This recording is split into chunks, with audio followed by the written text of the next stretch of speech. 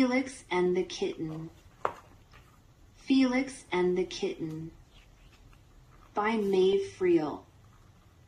Illustrated by Becky Blake. Felix was number one. When Felix meowed, time to get up. Mom got up. When he meowed, time for dinner. Dad filled his bowl. When he meowed, move over, they moved over. Everyone loved Felix. Then Suki arrived. She was very silly. She climbed the curtains. She made a mess on the rug. She sat on the flowers. She climbed into the watering can. Everyone loved Suki.